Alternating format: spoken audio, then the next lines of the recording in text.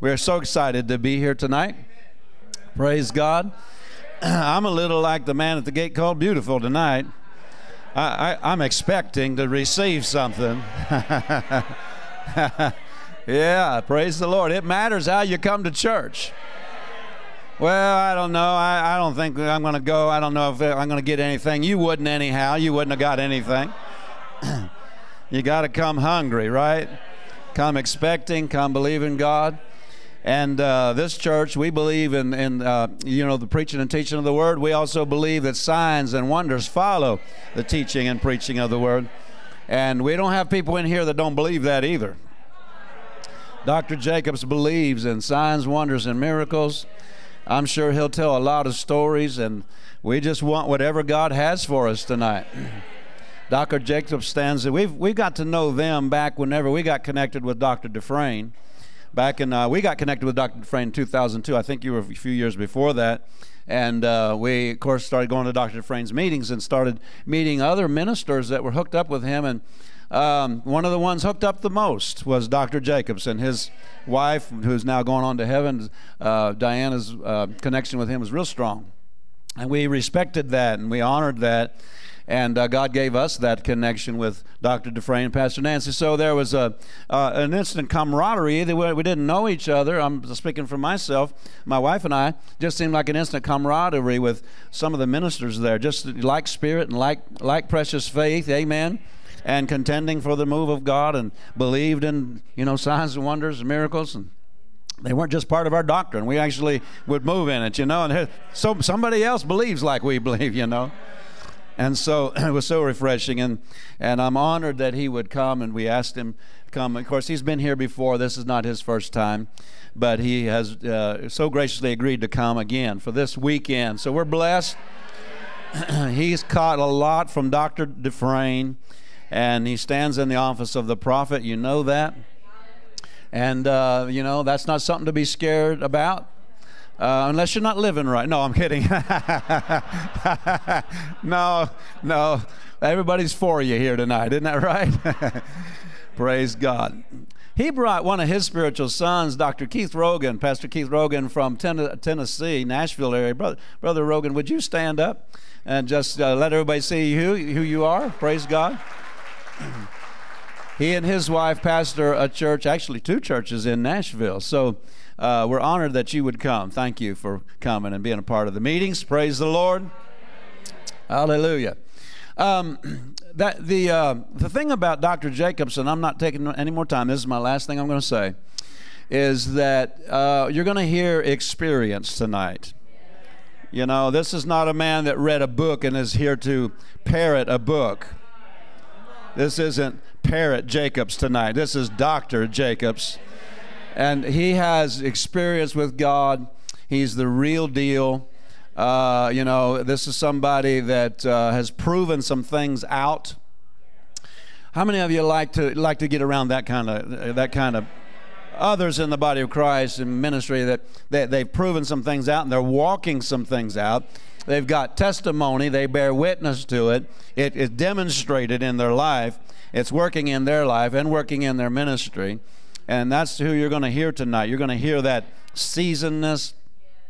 If you were to hit on him, you would hear a solidness. You would hear a, a, a solid thud. You wouldn't hear a tingy sound of a echoing preacher. You know what I'm talking about? Echoing somebody else but you're going to hear the real deal tonight. So, would you go ahead and stand? Come with me. Uh, come bring the pulpit if you would. Stand and welcome Dr. Jacobs this evening. Hallelujah. Dr. Jacobs, just obey God.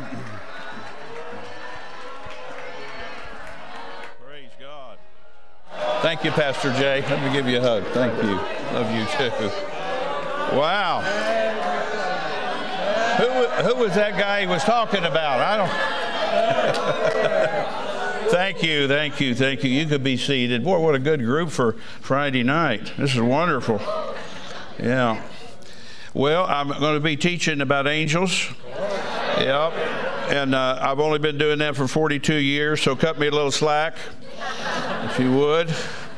Yeah, I'm serious. Cut me a little slack here. Uh, but there's just a lot to learn about that. There's a lot to learn, and so I think I'm going to wait on some of this for another session. But It's good to be with you, and I appreciate Pastor Jay and Debbie inviting me. It was a great honor to be invited and to come. And we have been friends for a long time, but we just hadn't seemed like uh, been together together, you know, together physically where we could fellowship and talk.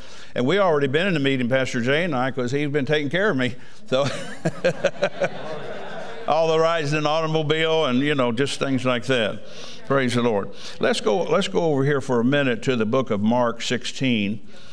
And, uh, you know, I, I would say this, not apologizing for it, just I'm not bragging either, but we're going to go to look at a lot of scriptures. I'll try to give as many as, to you as I can. And I think we have, if I'm thinking right, four sessions with you. So that gives me some leeway of what I'm picking and choosing to, teach. Uh, in 1995, I'd already been teaching on angels since 1980, so that's 42 years. But uh, in 95, I took the church I was in pastoring. My son now pastors that church because he was called to be a pastor and he's known nothing his whole life but be serving at church. But um, we taught 15 Wednesday nights in a row on this subject in 1995. Now, listen to me. I didn't even get taught what I knew in 95. And so this, we're not talking about what God uh, uh, has, is there's much, much more to this. And I'm still studying. I'm not, I didn't say that to be cute or act like I'm real or whatever. I study things over and over again. And somebody said, how did you know there were 300 references to angels? You find it on your computer? No, I took a reference book, a Strong's Concordance, and looked them up one at a time and read them thoroughly and talked to the Father about every one of them and there's a hundred of the 300 references to angels. Now, just you know, I'm not. Try- I'm just trying to talk to you. I'm going to slow down a little because I'm running quick here. Uh, but a hundred of those, they came and appeared and talked and spoke and ministered to humans on this planet. So when I say some of the things I'm going to say later, I, will probably talk about some of the visions. Maybe not tonight. I might talk about one or two, but we'll see how the Lord leads me.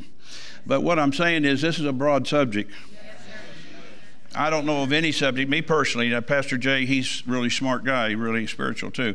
He may have a different slant on this, and so that's fine too.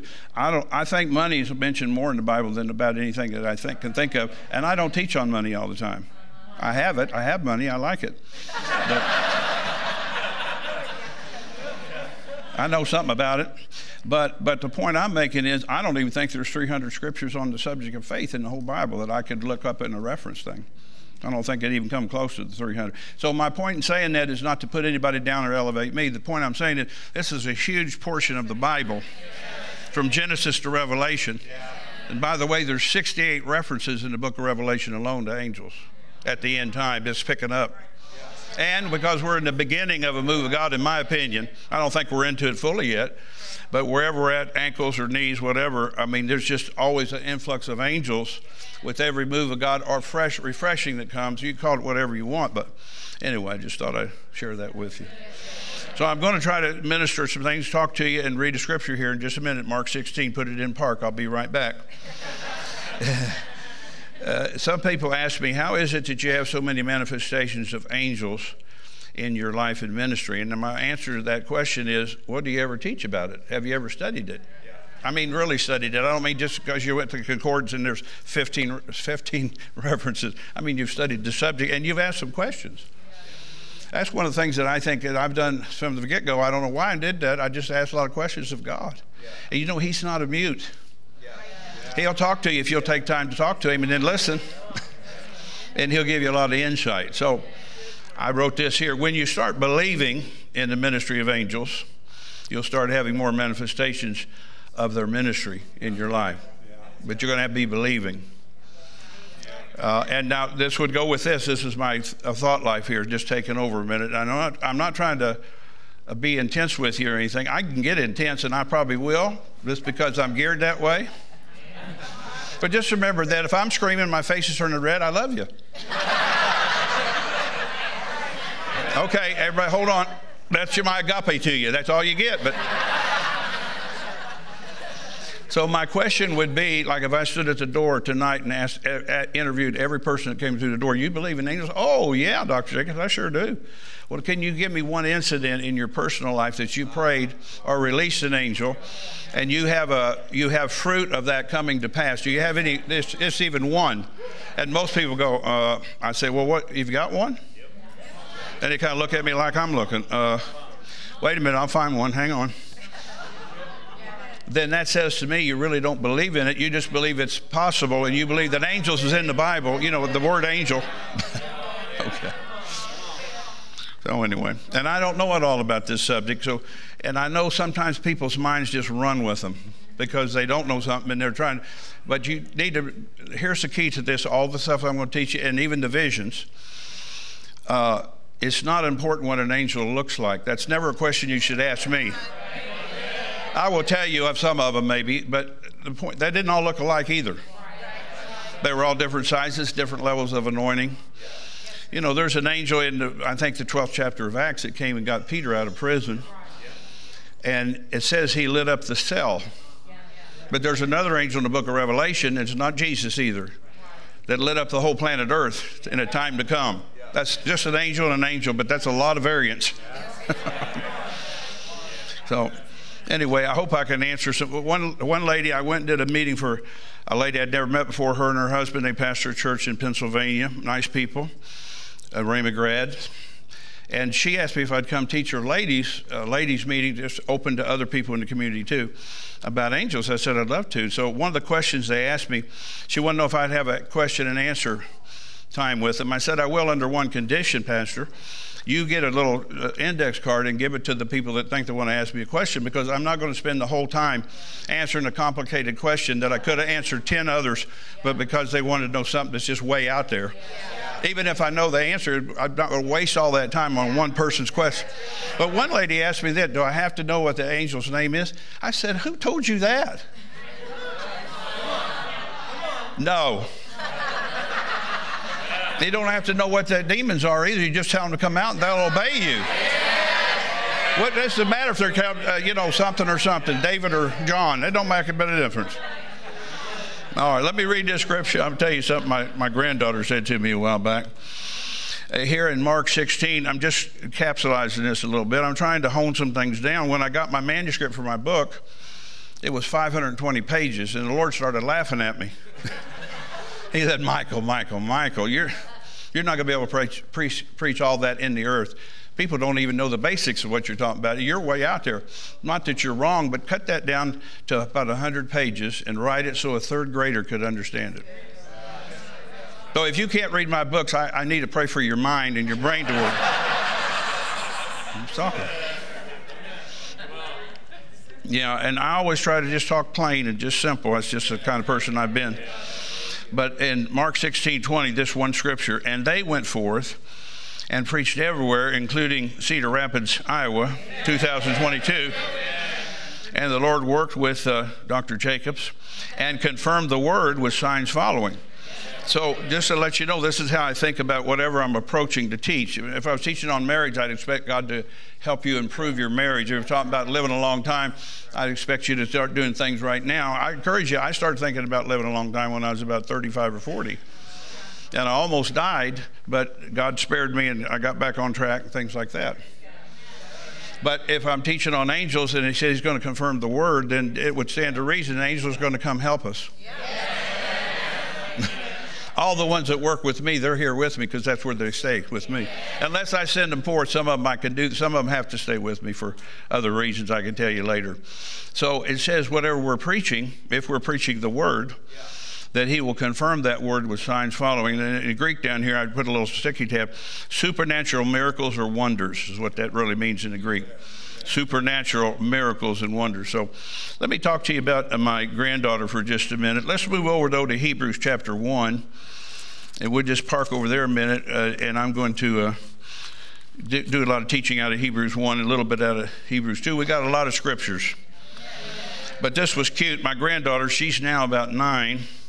I think she was about five then, maybe six, maybe six. And her mother put her in a Lutheran preschool. So she calls up, she and grandma got the phone. She says, It's Natalie, it's my granddaughter, it's my son's daughter. She wants to talk to you, Papa. I said, Hi, honey, what's up? Well, Mommy said that you see angels. Is that right? yes. Not all the time, but I do see them. Well, I want you to tell me how I can see an angel. now, just to show you what kind of person I am, I don't lie to children either. so I said, honey, I can't give you permission to do that. You have to talk to Jesus about that personally. So we went on, I don't know. Oh, she said, she said, Mommy said you had a book. I said, I do. Well, I don't have one. Well, honey, I'll get you one. Would you? I said, Yeah. I said, Do you even read yet? No, but Mommy said she'd read it to me. Mm hmm. So anyway, we were, and so when I got done, and it was it was really cute because she's kind of a, when you get her going, she could really go with you. and I got a grandson like that, one of the three grandsons I have. He's, he's a talker and communicator, and I like that about people, especially if they're close to me, because I don't want to feel like they're hiding everything. Anyway, uh, so I, what was neat is when I would answer, she would respond like a real human being, like an adult that's letting me talk for a minute. And finally, I said to her, "Well, honey, tell tell Grandpa what uh, why are you want to know about angels all of a sudden." Well, I want to pray for my friends. I said, Well, I can't tell you you're going to see an angel. I said, Natalie, you don't have to see an angel to receive the benefits of it. I'm saying that to all of you too.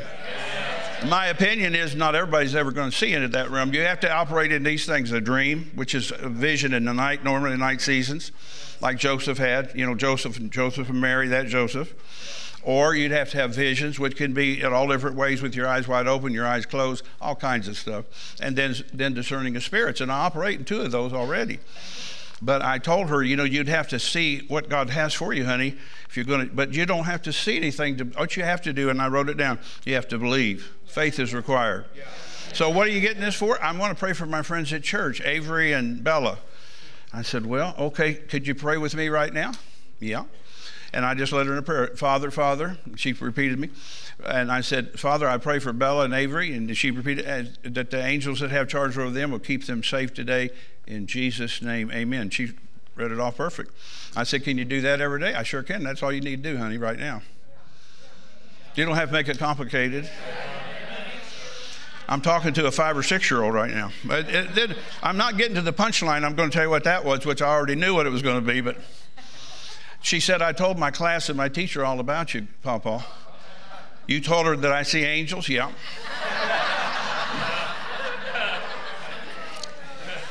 and some people call you the angel man. I never called myself that. I'm just a man that knows a little bit about angels. And I said, What did your teacher say? This was the big one. I nothing. That's what she said, nothing. She didn't say nothing. I said, I figured as much. I don't think many people know much about them, you know. But anyway, now let me let me. I'm going to read out of Hebrews in just a minute, but let me. This is a prophecy. This I am a doctor. You see that writing?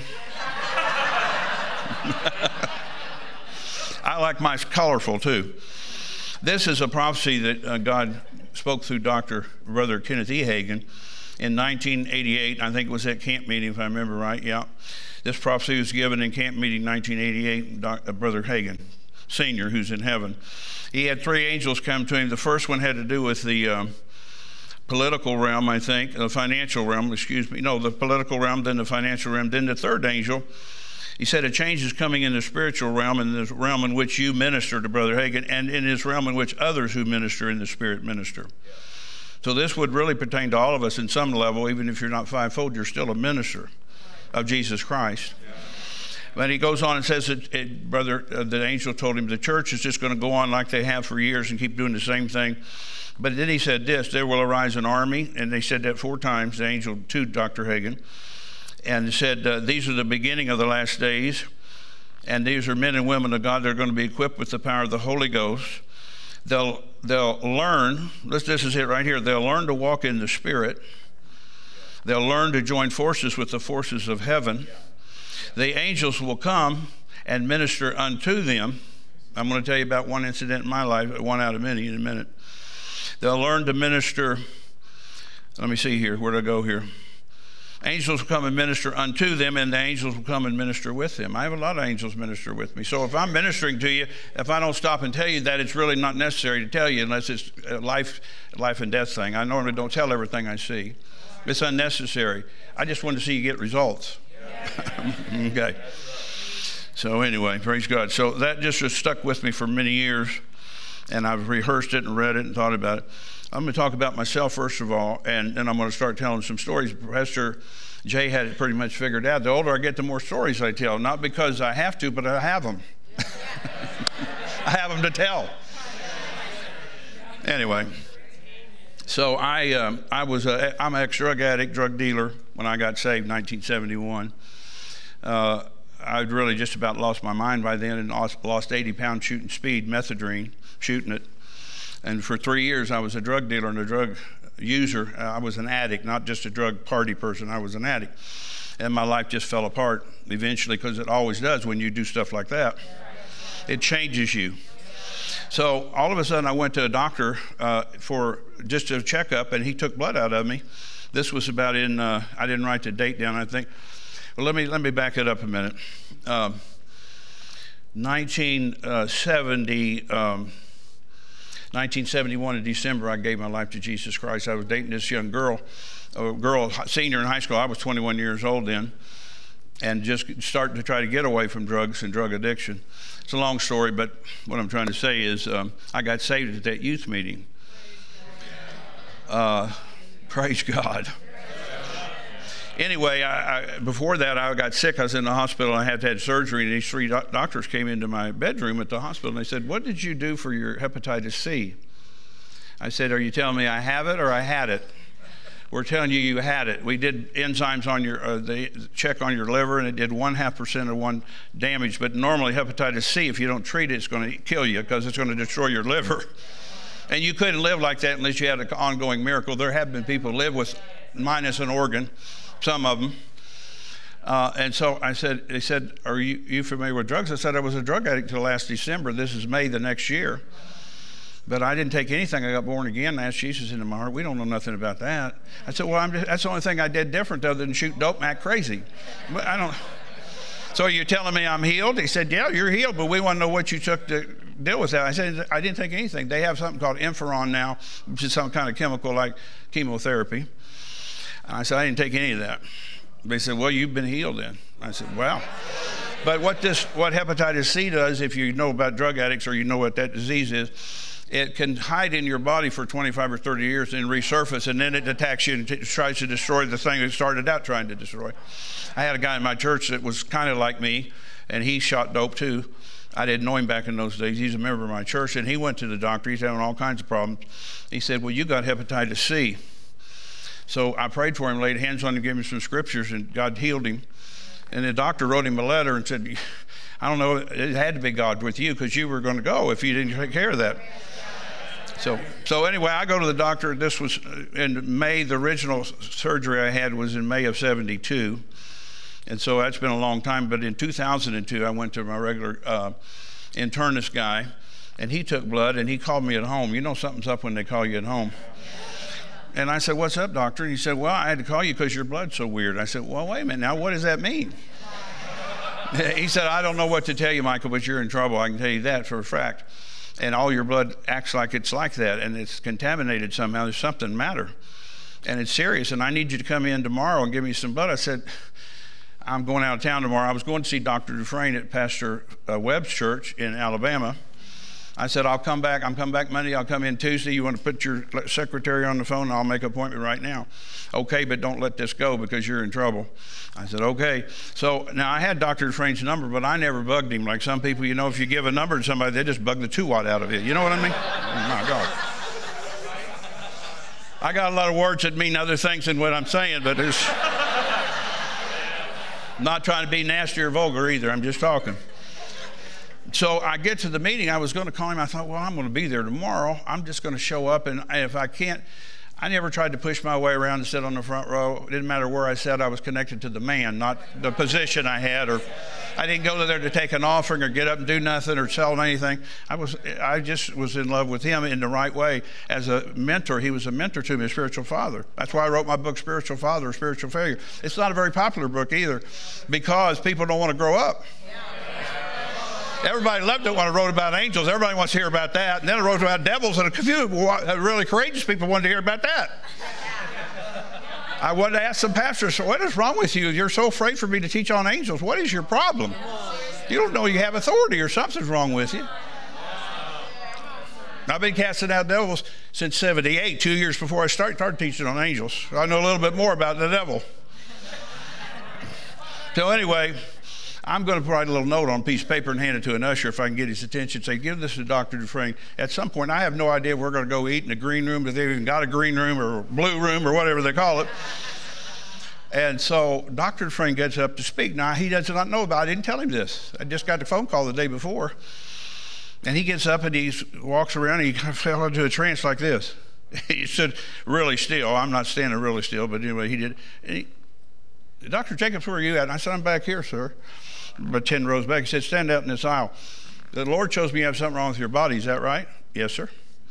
He said, There's an angel standing behind you. And then he kind of chuckled. He said, I know you believe in him. I said, I sure do. He's the one that encouraged me to write that book. He said, He's here to fix that. About that time, that angel hit me in the head, and down I went on the carpet. I got up, got back in my seat, and went home on Monday. Went to the doctor on Tuesday. He took all the blood he wanted. He said, I, He called me back at home and said, I don't understand it. Everything's perfect with your blood. So, thank you, sir. So, you know, it just pays to be with the right people. But there's a spiritual father to have. You just picked it up in the Holy Ghost. And there was probably 50 or 60 preachers in that meeting. I was there right when the bell rung, so I was like 10 rows. But I mean, he just ministered to me. And he ministered to others too. But I mean, you can understand how I felt because the devil started playing with my mind oh, about the hepatitis C coming back or something. You know, I wasn't fearful, but I didn't like that, that he was taunting me with that. Thank you, sir.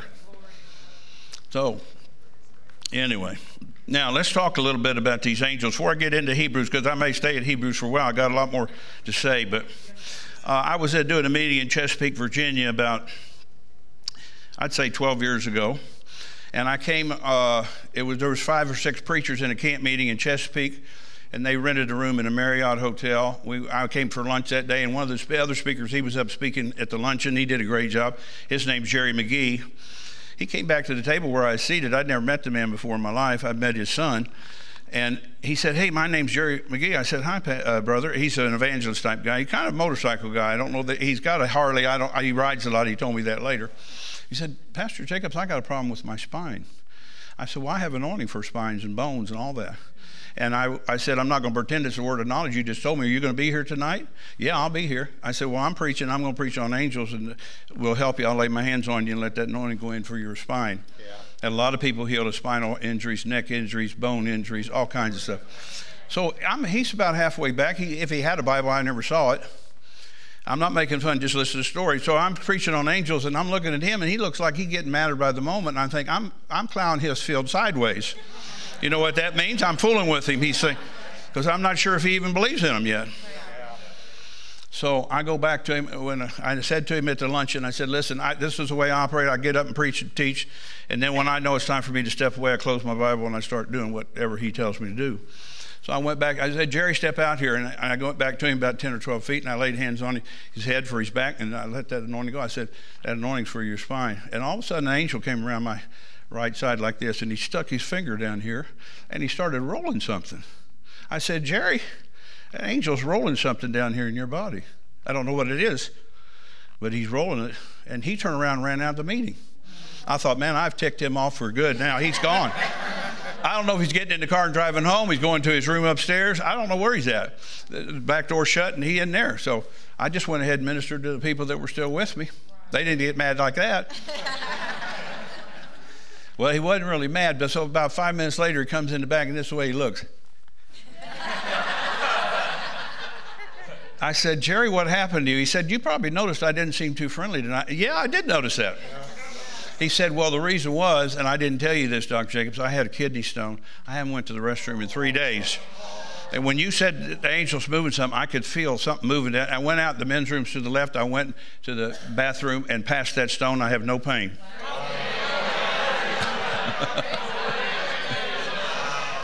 you can either go to urologist or get in one of my meetings if you got kidneys. I shouldn't have said that, but that, I'm telling you, you probably never think you probably never heard that before, unless there's somebody else that can do that. But that angel got that stone out of his body supernaturally, and I, I've heard that kidney stones are very, very intensely painful. So he got healed, and his back got healed too, as far as I know.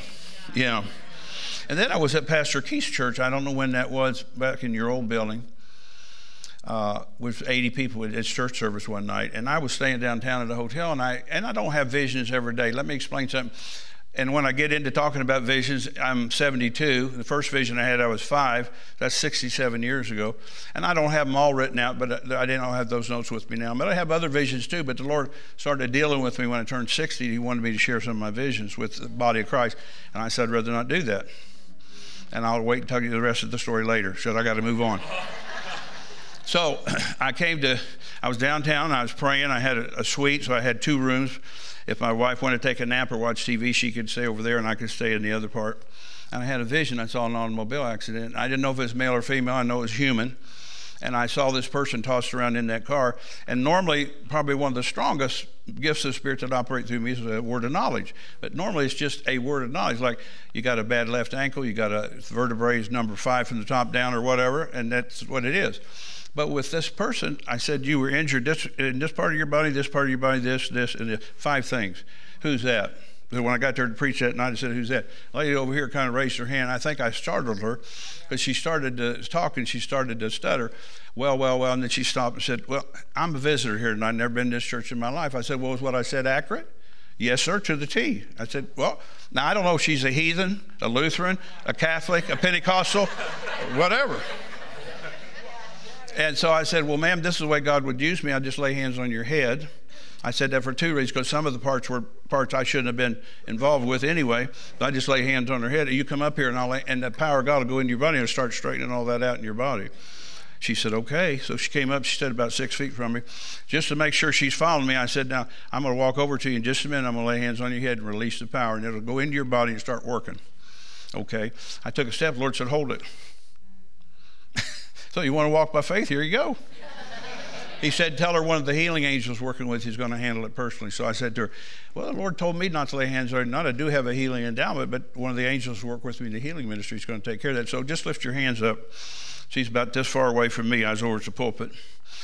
Lift your hands up. And then when she got them up, she started going back like this until her head was down to her rear end. I mean, you, you, I saw it. He saw it. There was 80 people in that meeting. You can't see how that spine would not snap. I, I mean, I was in all just like everybody else. So she goes so. She didn't hit the ground, of course, but it wasn't that low. But I mean, her spine was like that. and he brought her up forward. Then he turned one way and then the other way. I'm not going to turn that far. I don't want to have to go chiropractor. And, and at the end, she put her hands up, or he grabbed them, I don't know. And then he jerked her, picked her up on her tiptoes like a ballerina and set her down. It took about 80 seconds. She was totally healed. All right. hallelujah. Now, I think your pastor asked me this question yesterday. It could have been today, but I think it was yesterday. We were talking about angels and and uh, and our part with them. And all I know is to tell, I told him this one story, I could tell several, but I will tell a bunch as we get on into this. And I'm not trying to just give you uh, things that I didn't see. I didn't read that in somebody's book. I just studied my Bible. What a unique way to do it. Now, you think I'm teasing you, but you don't know me well enough to know me. But I mean, I've read 100 books on angels, and I shredded 97 of them. And now the other three, one, my book's one of them. And I really didn't even go that far in my book. But anyway, I'm just, that because it's just fluff. Put a nice wrapper on something, people will buy it, think they're going to change the world overnight. They don't even know what they're doing. even if you read the book and believed it, it's not, it's not, it's not even solid on the word. So I was telling Pastor Jay about it. I said, I know one thing, it seems like the angels work with me. I usually have to make the first move and I was telling about I was in Manzanillo, Mexico, about um, mm, 12 years maybe ago. I don't remember exactly. I've been in that city a lot. I mean, over my lifetime to pre- preach for a lady preacher down there, Maria Rancune, and I was teaching on angels, and I had a word of knowledge about hearts, physical hearts, and so eight people came, eight or nine. I started with this guy right here. I laid my hands on his head, but when I laid hands on his head, this angel came around this side, just like the one that took care of the kidney stone. But he put his whole hand in his chest, the man's chest up to about there, and he started, it from my eyes, it looked like he's opening a safe. You know how it goes click, click. It didn't make that sound, but it looked like he was. But I knew better. He was fixing something. I took my hand, I listened right, I took my hand off. He, he did put his arm in his chest until I put my hand on his head. And when I took my hand out, he put his arm out. We went to the next was a lady, laid hands on her head, asked God either to give her a new heart or fix the one she has, because he's got parts. God's got parts. And so the same thing happened. All eight or nine of them, I don't remember about that many. And when I got done, the lady ran over to me. Did you see that angel put his hand in my chest? What she saying? Did you see that angel put a, his hand in my chest? I said, Did you see an angel put his hand in your chest? I just seen her. She's really talking. Yes, I did. I said, I did too. What happened when you took it out? All my symptoms left me. Amen. I had symptoms when I got in line. I have a bad heart, and it's, oh, I had several things wrong. And see, what I'm saying is now I've prayed for him too. I laid, released my faith, but then the angels assisted me in getting that done too. Yeah. Praise God. All right, let me see here if I. So I've had that happen a lot in my life and different things like that. I had a lady in my church, a lady and her husband. They were they weren't old at all. They were only forty something, but they thought they were old. I don't know. People get different things in their head. You know, different generations get married at 16, 17, 18. Some of them never get married anymore, or they marry the wrong person three times in a row. I can't get it, but. I'm just teasing you if you've been married and divorced and married somebody. Just just deal with yourself. Don't keep doing that.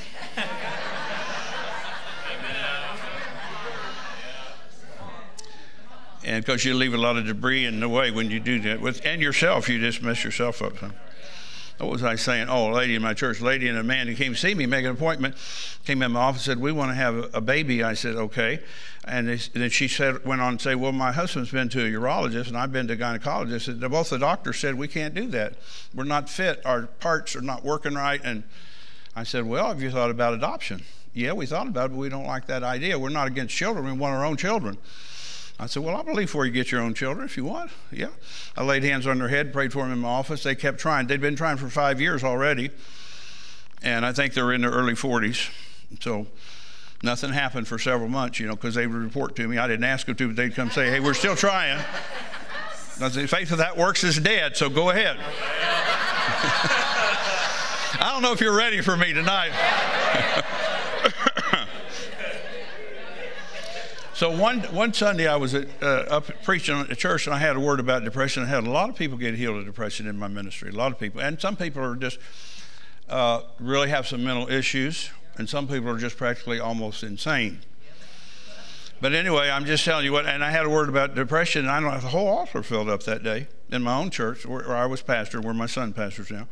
And she was in the line down here. I barely touched her head like this. There was a step here, touched her head and she, I mean, this happened just this quick. I mean, I took longer to walk to it than I could have told you. She was 15 feet away, looked, looked like she, I didn't see her feet move. People on the front row looked at her and looked at me and went, like, what is going on here? A wind hit her and sucked her back like she was on a rubber band. all I can tell you. I didn't see her feet moving. She just went shoop, and she's 15 feet away from me. It was just one of those moments where you went, God is in this place. And so I, I kept looking at her. She had her hands up. I said, Patty, that angel sit there on your right, he's putting his arm inside of you down there and he's fixing something. That's all I said. The next month she was pregnant. So they know how to fix things, just any kind of thing that you might need fixed. Okay. Let's go over here to Hebrews and uh, look at something here. Hebrews chapter 1, verse 13 and 14. Before I start reading, let me say something about Hebrews uh, probably Hebrews probably just about my favorite, favorite book of the Bible. I stick with Hebrews tightly because it's got so much information about everything. But it's a contrast. The whole book of Hebrews, chapter one and chapter part of chapter two, is a contrast between the angels and Jesus, and he's he's God.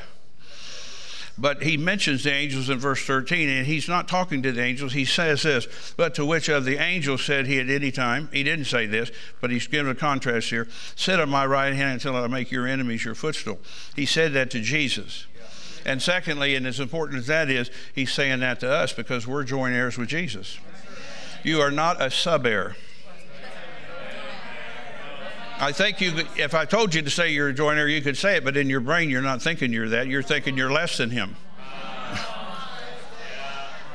I'm going to go out on a limb here with you. I think you're only second church I told this to. I had a vision not too long ago, and I saw the, a, seat, a chair at the right hand of God, and his, his head was there. Jesus' head was there. He said, Do you think that looks right? I said, Absolutely not. Where's your body? He says, It's with me.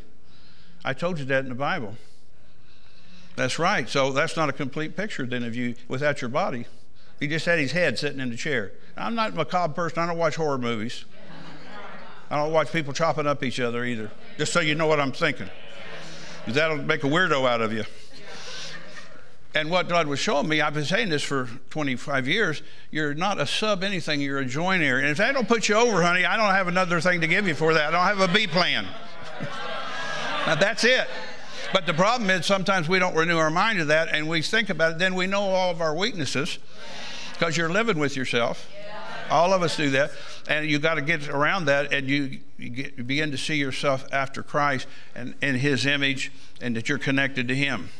And you're a joint heir with Him. Like me and my wife, she just went to heaven last year, but we had a joint bank account. I didn't have a separate one. She have, I don't know what's wrong. That's why people get divorced sometimes over money. But we had a joint account means that I could go to the bank and take all the money out and I could put the money in and she could do the same thing. Not one of us was over each other in that realm. She was smarter than me in doing accounting, and I let her handle that because she was just smart. I, I needed her help. anyway, so are you with me? Okay.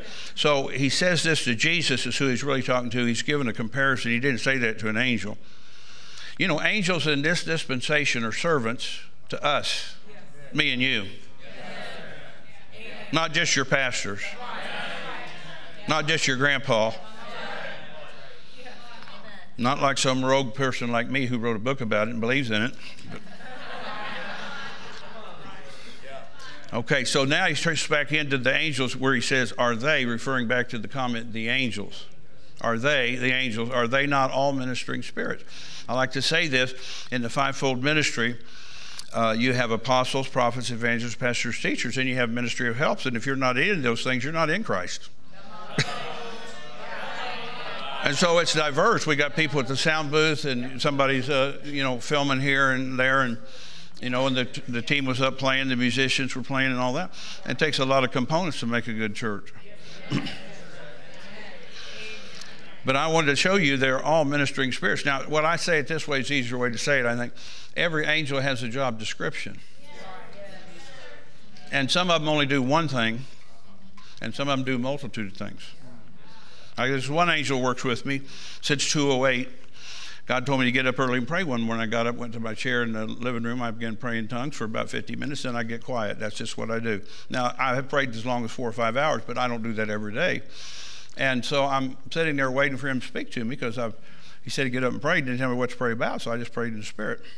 He said, Michael, I'm giving you a new anointing. A new anointing. I said, what about? He said, on breathing conditions with people, COPD, asthma, uh, lung cancer, anything associated with uh, your lungs and the breathing. I said, okay, he didn't mention anything about an angel then either. Okay, so when that came on the next time I, I was preaching and I had that word, I said, if you have any lung conditions, get up here. And throughout the time he told me that, since 208, I've had a lady get two, uh, a man get two new lungs. I had a lady that had surgery for three quarters of one lung t- taken out for, from cancer. And she showed up just a few days after that to be in my meeting in, in California with the Simons. You, Pastor Debbie, she been here? Pastor Debbie and Johnny? Yeah. And uh, he, she went right back to the doctor in six weeks. He took x ray. He said, I don't understand. I cut out three quarters of that lung. You had a brand new lung in there, not the one I worked on.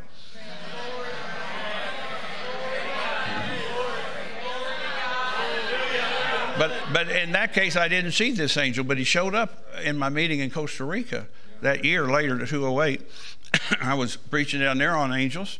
You always preach on angels? Well, let me say it to you this way most people don't know anything about angels. And about half or three quarters of what they've been told is an error or it's, it's not right. And so, you know, I, I feel like that's a good thing for me to teach since I've devoted 40 some years of my life to t- teach it and study it. I don't preach it. I mean, when I'm pastor, you got to preach everything how to think, how to talk, how to get along in your marriage, how to raise kids, how to handle your money, how to be healthy.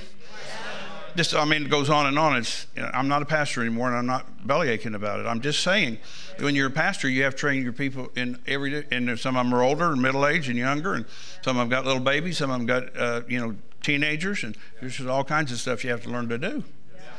You're going to be a good parent. So, okay.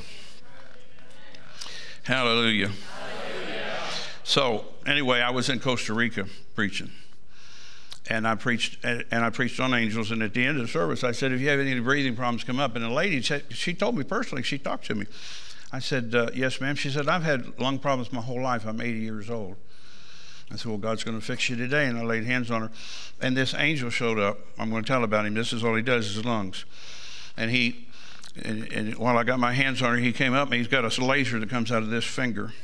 You know, you can go to hell for lying, just so you know I know what I'm talking about. I wouldn't be saying that if I didn't see it and he just went across her lungs. And he, when he does that, whoever they are, their lungs are discolored. Sometimes, one time they were black or gray or dark gray or light gray or some other color than normal. And he takes that laser and runs it across the chest of the person, and it removes all that.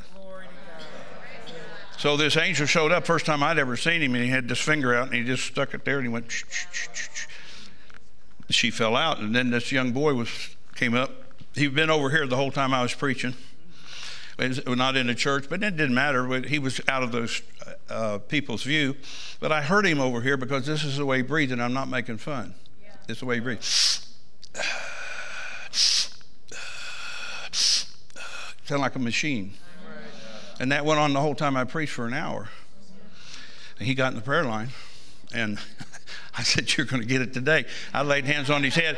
That angel just skipped over to him and did the same thing. But he did something else to him. He didn't do that as much as he straightened out his bone structure. I didn't know that at the time.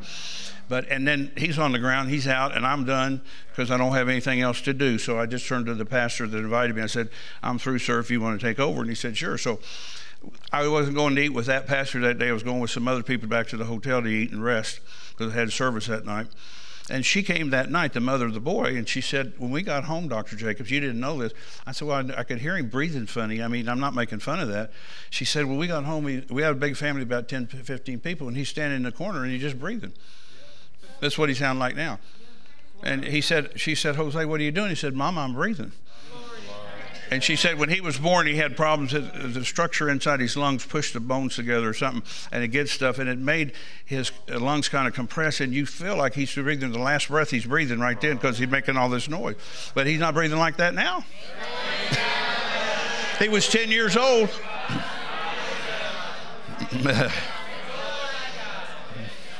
I just know it was that angel because I saw that light coming out of his finger. He don't do ankles, he don't do ears, he don't do cheek, teeth. Uh, other angels do sometimes with me. They do a lot of varied things, but this one, he's a single tasker.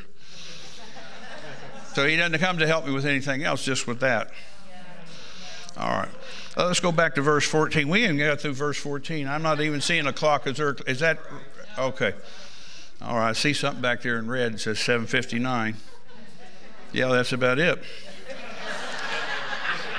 you know what it means when a preacher looks at his watch? Nothing.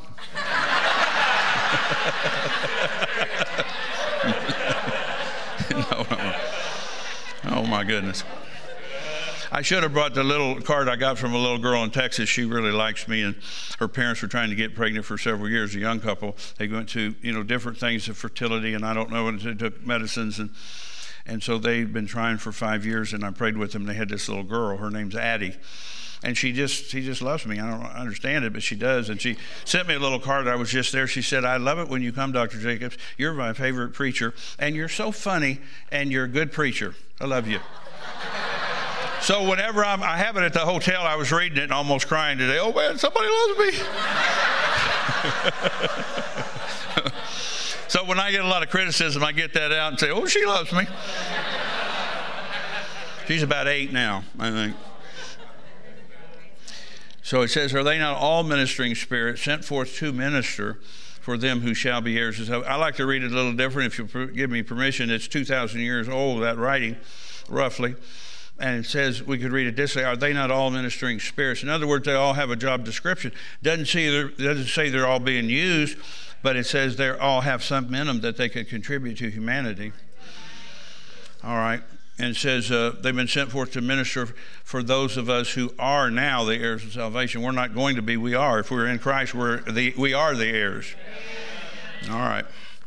That's just real interesting. Uh, wording here. Now, let me give you a little more information, and I'm going to move off this for a little bit. I have another section I want to get into, and it's important to our study because most people think all the angels live in heaven. That's the wrong answer. I didn't know it either until I figured it out in the Bible. And then I told God, I'm not going to preach it until you give me something over in the, over uh, some more scriptures. You said two or more.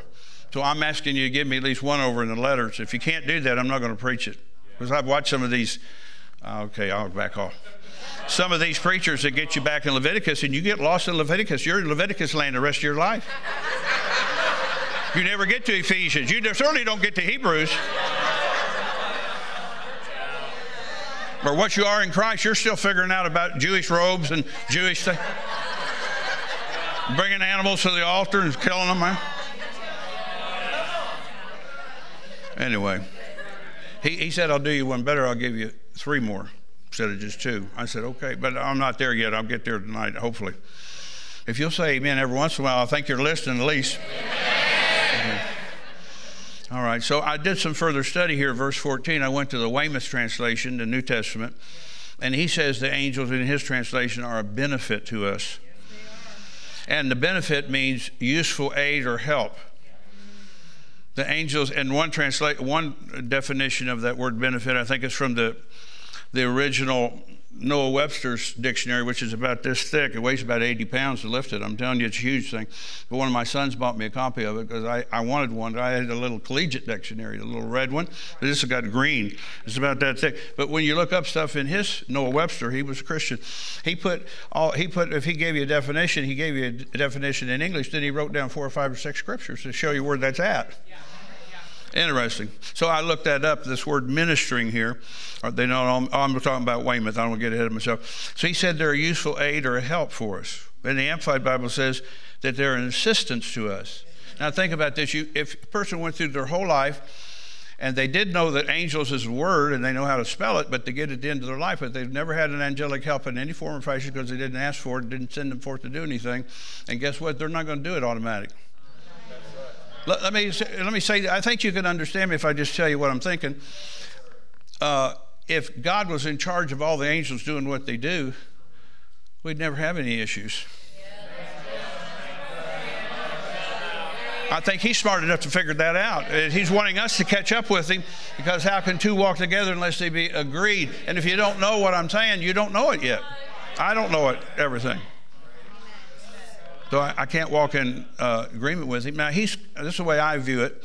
He's put, um, I'm not a techie guy, but what do you call those uh, in a computer? Uh, a thing you put in, a, not a, it's what's that called? Huh? USB. USB. No, well, it may be called that. I don't know. It's like the set of stuff that goes in it to help it do something. Oh, you guys are way out beyond me a system. I'm calling it a system because I'm, don't have I don't use a computer. But that, that that angel is committed to do. Listen to me. What's in him according to his system he has.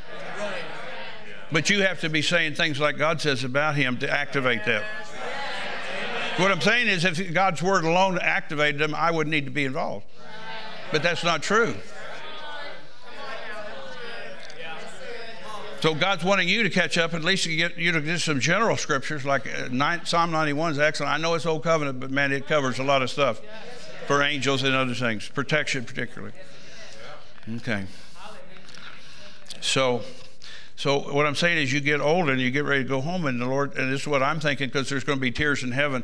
Let's say you had two. Uh, did you have two screens up here when I was standing there? I wasn't paying attention. I was just looking at this one, but you have two screens. So God says, okay, Charlie, run this thing on Mr. Jacobs, or he just calls me Michael, really.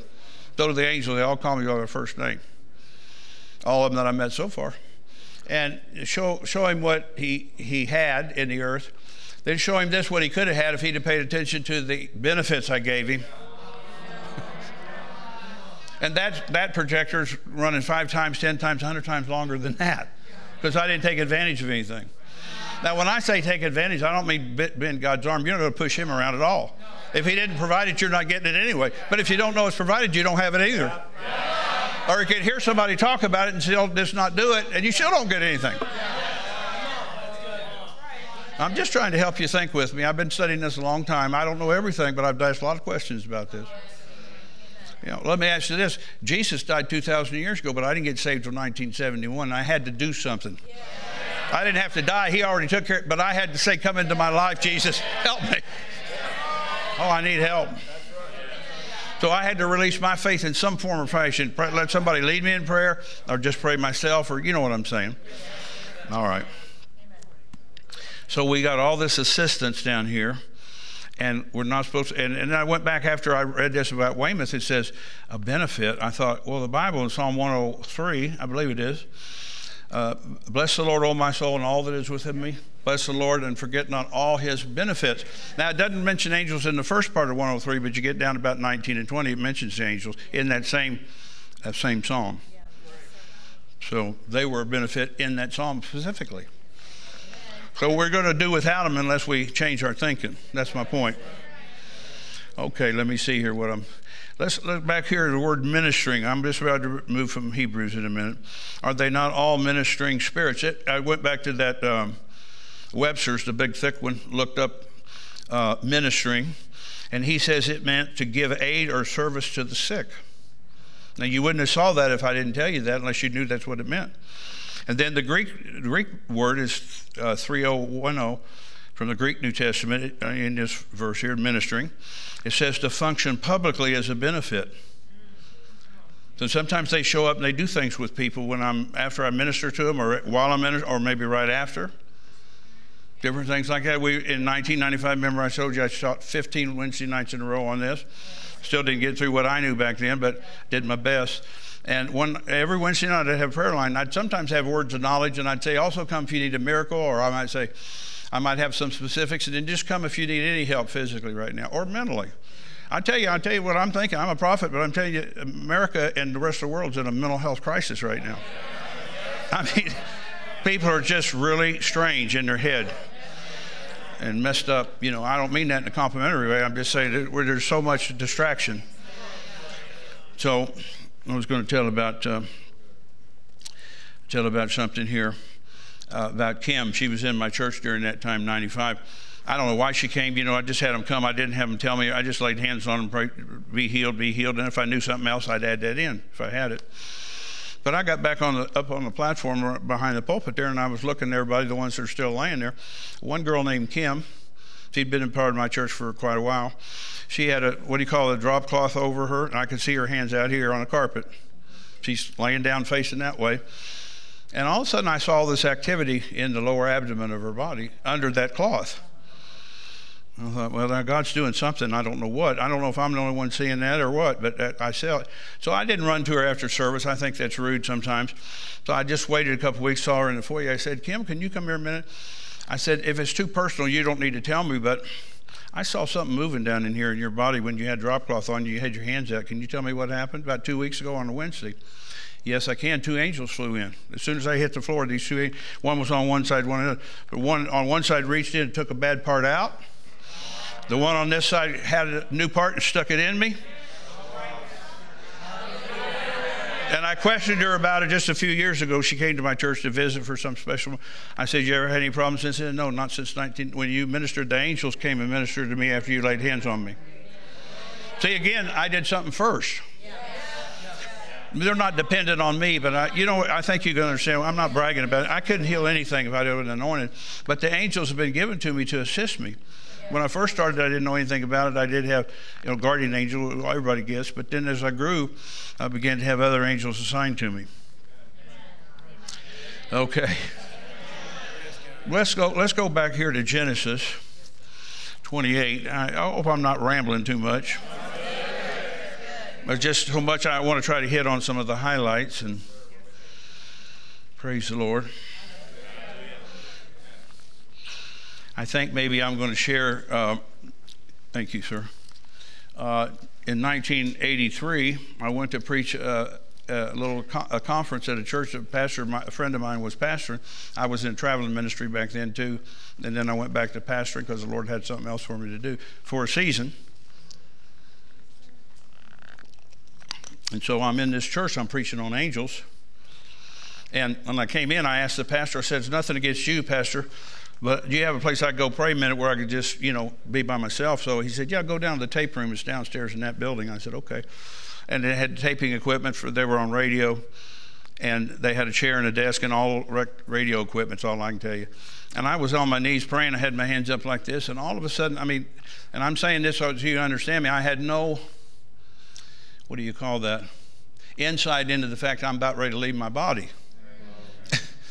and so I started coming out of my body and I'm floating. That's the only way I could describe it. And I'm about eight feet away from where I was just kneeling. I look back, and there I am. There's my body. I'm over here. And all of a sudden, there's an angel holding this arm up, an angel holding that arm. I didn't even bother to stop Mascot about that at that moment. Later, when I got more together in what had happened, I, I said, What's with the two angels? He said, Well, you know, the Bible says in James, uh, the spirit, uh, the body without the spirit's dead. You, you couldn't make it. You have to have something keeping you alive when you're away from your body because you're not in there anymore. And I said, okay. And then he did it again another time in one of the visions in 99. That was in 83. But anyway, this is what happened. So I'm floating and I end up in a big room. With this sanctuary, it'd probably be maybe if you flip that wall, that wall, flip the whole building over one more time and from the front to the back, maybe two times that way. And I didn't count them, so I'm telling you that up front. But I would say there was a thousand angels in this room. It's a huge room, and they were, they were everywhere. And I was just in awe that I was seeing this. And I, did, and I, I didn't say a word. I'm just experiencing it. But I'm going to pretend like that I'm kneeling facing this way, and all the angels are back this way. And the one angel looked at me and said, Michael. You always, I always call me Michael, and they're not all the same angel. Uh, some of, the, some, some of them that work with me constantly, they are with me more than others. But anyway, he said, Michael, and he went like this We're excited you're teaching about us, for we've desired to be involved in the body of Christ, and they won't let us. And then all of a sudden, shoo, I found myself leaving that room, kind of floating backwards. I came back, went through my mouth, came down into my body like you put on a boot or a glove, and uh, I'm, in, I'm inside my body again. So I'm, oh my goodness! And somebody said, "Did you tell the people what you saw?" That heavens, no. I know you'd have had it all figured out in two minutes, wouldn't you? That's what you all think. And maybe some of you could have. I didn't. I've never figured it out any, any time that fast. In two minutes. I meditated on those last four words, though, for four months because that disturbed me. That I was seeing these magnificent creatures that are capable of doing things. You, you know, I could just barely touch on the highlights of some things that I've seen. They could do all kinds of stuff. And they were eager. They weren't dressed in like a jogging outfit. I don't mean, I'm not making fun, but there was something on their manner of looking at me and their eagerness, uh, boldness, something, let us go. We're ready to help you. And that bothered me that that angel said they won't let us. So this is what happened to me after thinking about that for four months. Like a revelation hit me down here. It's like a bomb went off. And then I said to myself out loud, I was by myself, thank God, or people think I'm talking to myself. Then I must have authority I don't know anything about. And it wasn't that I didn't have any authority. I was already casting out devils out of people and stuff since 78. So but I thought, I must have authority I don't understand fully. And the whole body of Christ must have the same problem because they indicate we're holding them back. Yeah. Yeah. So, so, again, going to my thought that God's already charged his angels. But I have to catch up with him. Yeah. And I understood from that expression from that one angel, I, I would say it this way they're not emotional like us, thank God. I've never had an angel talk back to me. Never. I shut the devils up when they try to talk through people's mouth. I say, You shut up and come out. Anyway, but I just think that's amazing. They're not like us. They're, they're not emotional. They do have joy and there's some expression. What I wanted to say is that angel, there was an element of frustration in his voice that he was putting off to me when he said, They won't let us. And he didn't say, So help me, but it marked my life so much. I, I've been doing this, teaching on this since 83, that particular vision. Hallelujah. Okay. Yeah, praise God. I'm excited, but I know you are too. So always remember, they're excited that I'm teaching about them, even after all these years. That was 1983. That's a little ways back. And sometimes they will come, sometimes when I'm uh, standing on the front row, or sometimes when I'm in the hotel, or they'll say, We're, we're, still, we're going to help you tonight. And I say, Thank you, I appreciate it. Yeah. I'm going to talk about you. But I don't have to see them to believe they're there because I know they're there. You know, and I don't have time to teach you that tonight, but well, I will in just a second out of this passage, a portion of. Angels go to church. They really like church. I mean, you know, sometimes your congregations, maybe 80% of them like church, and I'm not sure about the other 20, but it, I'm just kind of teasing you a minute. You know I'm right, though. I know you know that. yeah, some of you have had best friends and they're not even here anymore. You're in a good church, stay put. Just stay put. They could not teach things out of you and put things in you. You know what I mean? Correct things. All right. all right. I want to show you this. This is really interesting here. I try to teach this part here. All pertains to angels being in this planet. See, I didn't even know that. I don't know where I got some of my ideas. I, I know that you wouldn't admit it, but some of you got some funny ideas about angels. My mother, she was a real prayer warrior when I was younger. And somebody sent her a picture of angels picking guitars and eating grapes in heaven. And I had that image in me for 30 years, I bet, before I figured this out. I don't ever seen them eat a grape, and I don't know that they play guitars. They play trumpets. I know that from Book of Revelation. They maybe play something I don't know about. But see, you're, you're, you're geared that way, and your grandma probably has a, a what, what do you call those cabinets with the little knickknacks? And she's got little, I call them preschool looking babies, like they're beer bellies. And they're just about that tall, and they got curly hair, and they got a little rubber dart boing. Uh, I'm going to tell you this if you ever see an angel in his normal uh, element, his not stepping over into this natural, I've had him do that to me too, but in their normal sphere of influence where they exist, you're going to have to have faith or huggies.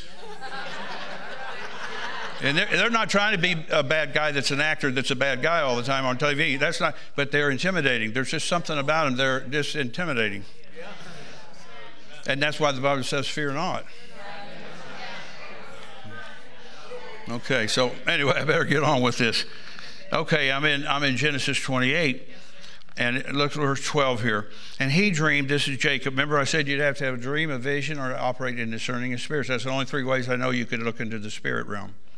If you could, if God would let us all see that tonight, all the angels, your personal angel, and if you have additional angels, I do for my ministry. I'm not bragging, I didn't ask for any of them.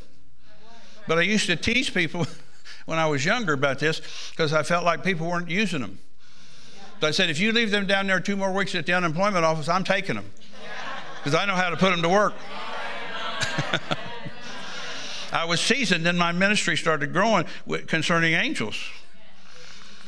All right. So Jacob, he dreamed a dream. Behold, a ladder set up on the earth, and top of it reached to heaven, and behold, the angels of God ascending and descending on it. I read that just like he heard me read it, but one day God started dealing with me. I was just me and him. He said, You read that perfectly, but you don't get it perfectly. I, I said, So what do you want me to do? He said, I want you to read it again out loud to yourself and me. And so I read it out loud again to him, and he said, "You still don't have it. You got in your mind. This is the way I was thinking. I'll cut to the chase a little bit. I read it seven times before I figured it out. Now I know sometimes you, we think that we're really getting it, and then when God shows us, you go, "Oh man, what was I thinking?" Well, you weren't thinking, Michael. You were reading it right, but you weren't understanding. I was thinking God cut a hole out of the heaven, out of the clouds, and threw over a rope ladder, like a pirate movie or something. And the, the end of it would tickle the grass.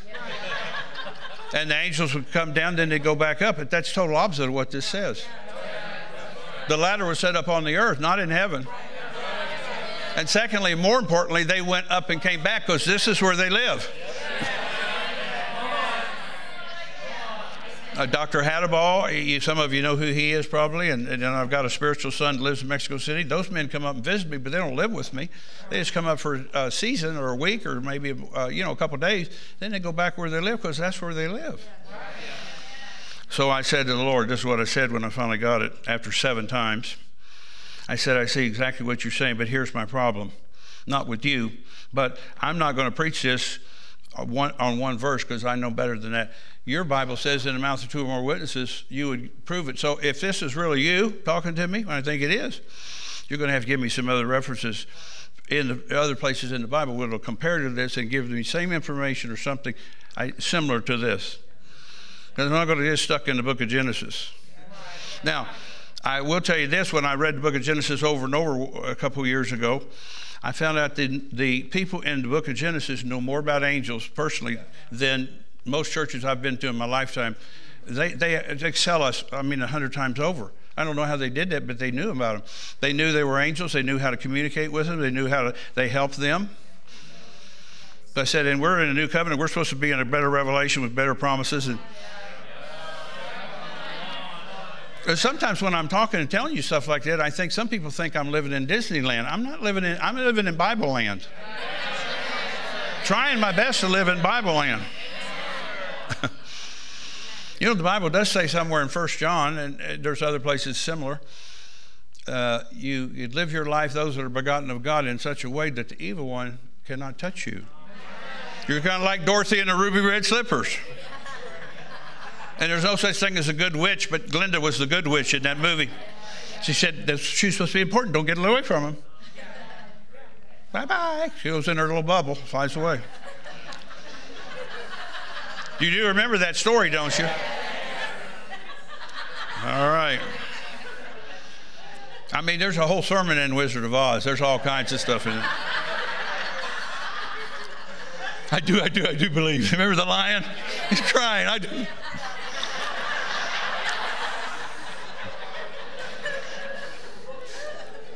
I think Addie was right. I'm funny. but I tell you, that's not my personality. I'm not a jokey type funny guy. I'm never going to get up and tell you a joke to start a sermon.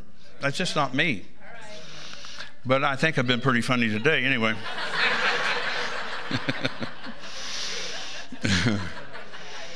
okay, let's go down. I'm still in uh, Genesis 28, but I want to show you a little something else here. Verse uh, 16, and Jacob awaked out of his sleep. He's having a he's having a, a, vision at nighttime. He's having a dream, and he said, "Surely the Lord's in this place, and I knew it not." And, and he was afraid and said, "How dreadful!" Now that's a poor translation. The real word there is awesome. How awesome is this place? Now watch, and this is none other but the house of God, which 1 Timothy 3:15 says the house of God is the church. Now we know this is old covenant, but Moses was the pastor of the church in the wilderness. By the way, he had an angel that helped him. I haven't even got that far. I'm going to talk to the pastors, you know, about this one of the other sessions. I'll talk to you about personal angels assigned to you and how to activate them. And then, if I have time, I'd like to take maybe uh, two of the lessons, possibly, and teach about visions. I can't teach them all in one session; it's too much. But anyway, this says, uh, "This is none other but the house of God," and this is amazing here. So this, this dream he's having, and the angels are involved in it, is happening at church. I have several other scriptures more go into detail, but this is good to hold you for there. And this is the gate of heaven. In other words, this is the way God put it to me. Church is the only institution that I know anything about in the planet that has a gate through which heavenly things flow through it. Into the community, into the nations, into the cities you live and where you work, and, and the gifts of the Spirit flow through that, and all kinds of stuff. I had revival in my church 95, 96, 97, part of 98, and we had a big chute, like a big round chute, about 12 feet in diameter, right over in this section of our church.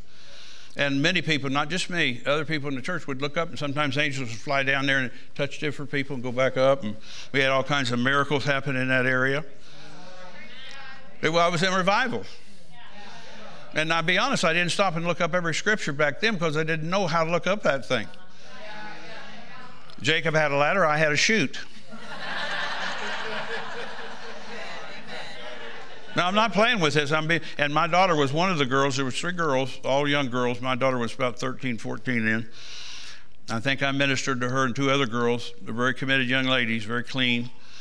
And I touched them on their head and blessed them. And uh, two and a half hours later, they were still standing there at the altar like this with one hand up. I was there in the meeting. I know what I'm talking about. Two and a half hours, and they were like almost semi comatose or something. So I told the ushers, just back them up easy, set them in these chairs until they come back. And, you know, God visited them. I tell you, some of you guys who think you can lift weights, you put your arm up for two and a half hours, let your wife time you. You're going to chiropractor tomorrow because you can't move your elbow, you can't move your shoulder. Help me, honey, help me. I don't know what's gotten into me. I'm sorry mm-hmm. Okay, so I said to the Lord, let me repeat this. I said, I will preach it if you give me some additional material. So he said, okay. And, you know, I, I didn't want to do like Brother Hagin said. Brother Hagin said, Lord, I don't know anything about that. He said, yeah, there's lots you don't know about. But I said that to the Lord about this. If there's that many scriptures I don't know about, he said, that's evidence you don't know about it. There's a whole lot you don't know about yet, Michael. I said, yeah, forgive me for being stupid. So he said to John chapter 1, you learning with me? And I want to do that to you for several reasons. One is for yourself, but how about your kids? Because if you think your kids, children, angels are in heaven, you're not thinking right. You see, in order for an angel to protect you, and they can't be but in one place at one time. Now, that's not true of God, He's everywhere. But the angels are in one physical, um, spiritual body, but they can't be in two places at the same time. So, they, they, in order for your children to be protected, the angels have to be with them. And when I want you, when you're praying over your children, you know, when my kids were little, they did what I told them to do, and even as they got older, pretty much. But they tried me a few times. But my point is, you know, I always released angels to go with them and minister to them and keep them safe, even though I didn't know what they were doing all the time. There was a few times I told them, don't do this because the Lord's going to tell me, and I'm really going to get on you if you violate what I told you not to do. Oh, yeah, I'll tell you my hallmark, hallmark, hallmark story. This is a great story. There was a little girl in my church started showing up, a teenager. She's real cute. She told about six boys she loved them, my son being one of them. So she shows up at Christmas time. It's snowing like a Hallmark picture. She knocks on the door. I go to the door. I said, Yeah, can I help you? She said, Well, I thought I was going to come in. I said, Did somebody call you from my house and invite you? No. I said, Then get in your little car and just take off because you're not coming in. Good night. Shut the door on her. It's snowing. It's like Hallmark moment. She didn't have a scarf, scarf on. do you really do? I really, and then I went upstairs to my son. I said, Don't have nothing to do with this girl. She's not right. Do you follow me, son? Do you know what I'm talking about? I mean, stay away from her. She's going to be dangerous to you.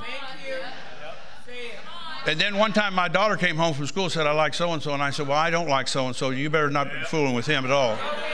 I'm going to be very uh, angry with you if you try to fool me. And she dropped him. See, I wasn't just able to produce children, I tried to father them. Not bragging, but just I did my part. My wife was, uh, she was strong too, for sure. Okay, I'm sorry, I'm taking a lot of rabbits. I think we got them all. all How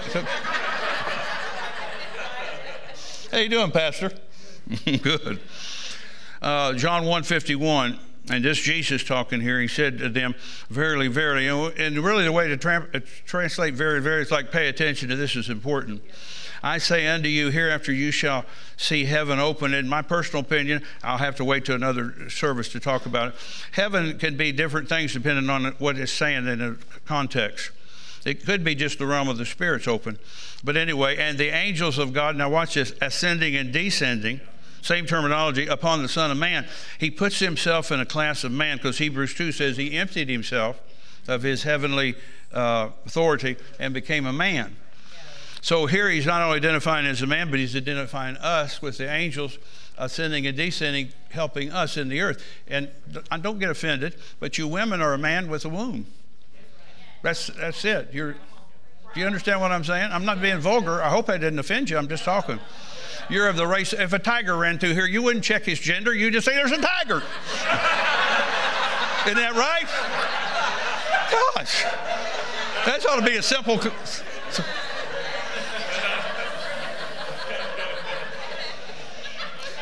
Oh, man. Now you guys are laughing. It. mm. Okay, so there's number two verses that he gave me.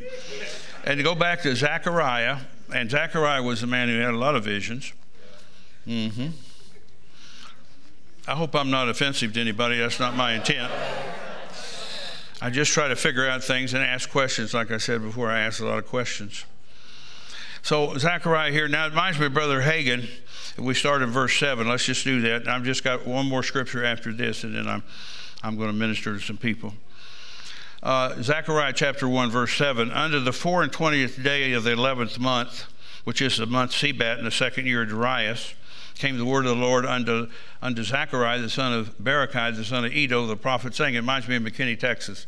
Remember when Brother Hagin would say, I lived in such and such a place in McKinney, Texas. And, he, and then when at one time he was up to the courthouse and he takes you around the whole city. That's so and so, that's the postmaster's house, that's this, that's, that's a dress shop for ladies, this is Walgreens or whatever. And he said, verse 8, I saw by night, and behold, a man riding upon a red horse. He stood among the myrtle trees that were in the bottom, and behind him were there red horses speckled and white. Then said I, O my Lord, what are these? And the angel that talked with me said unto me, I will show you what these be. And the man that stood among the myrtle trees answered and said, These are they whom the Lord hath sent to walk through and fro through the earth. Now, this is telling us something that goes back all the way, uh, goes into the book of Hebrews, because it said they've been sent. So God sent them, but also we send them too. I haven't got to that point. We won't talk about it tonight. It's too too involved. But I wanted. I knew there was something more in verse 10. You know when God stops you on something and says there's something more, you need to figure it out. So I got out other translations, and this is um, verse 10. I'm just talking about verse 10. Okay, Zechariah's having a vision. The angel's talking to him, and he sees these other angelic beings on horses, which they ride horses and chariots and all that stuff too. We don't have time to go to all those references. But in verse 10, another translation says they patrol the earth the angels patrol the earth and they maintain security. Now, I know that, you know, I'm t- just talking now. When I get up in the morning, I say, Father, I thank you for the angels today. They have charge over me and so forth to keep me uh, well and safe and from all harm in Jesus' name. I just say that out of my mouth because they're activated. And by the way, angels don't have to sleep. I watched a special on Secret Service recently. It was really interesting.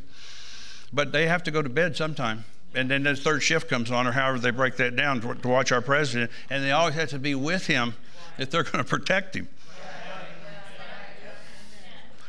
So the angels patrol the earth and they maintain security. And here's another translation of something, something else. It says they do recon missions, they do security work, and they combat if they need to. They can take care of things if they need to. Okay. We learned anything? I got one last scripture that I think it's in 1 Corinthians chapter 4. Let me find that myself. 1 Corinthians 4. And this is the one I said, Lord, there's got, you got to give me one in the, in the new covenant in the church of the church. And he said, I can do that. And I said, Well, praise God. I'd read this over and over, but I'd never seen it from that perspective. Uh, 1 Corinthians 4 and 9. I think that God has set forth us, the apostles, or we could call them the ministry, but they were apostles of the fivefold, you know, those kind of people. Could be a woman or a man. Last, as it were, appointed to death. For we are made, now notice this word not going to be, we are made a spectacle unto the world and to angels and to men. Now, the word spectacle here, I have a Cambridge Bible. In the footnote, it says, uh, it says spectacle, GR, and they tell me that word means theater, but, but because I don't always trust all the subtitles, I went to my Greek New Testament and looked it up, and the word for spectacle is theater. So let me say it this way What do you do when you go to your children's play at Christmas? You sit and you look and you listen. What do you do if you go to a movie? I know there's not much fit to watch, but if you do watch one, you sit and you look and you listen. What do you do if you go to the Philharmonic or an orchestra or some big production somebody does? You look and you listen. That's the two main things you do. But this is telling us not only is the world looking at you and other people, men and women, are looking at you, but angels, they're listening and they're looking. Just like tonight, they've been in here with me all night, and they're looking and they're listening for what I'm saying so they could do something for us.